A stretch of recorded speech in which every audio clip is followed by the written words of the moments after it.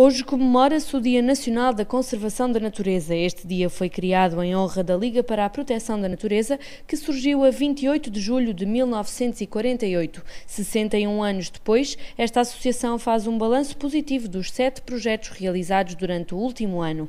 Para além dos projetos, também está em destaque o envolvimento em ações de conservação da biodiversidade, a denúncia pública de ameaças e atentados ambientais e a mobilização da opinião pública. Em nota de imprensa, a Liga para a Proteção da Natureza afirma que importa relembrar que todos dependemos da natureza para sobreviver e que defender a natureza é um dever e uma responsabilidade de todos nós.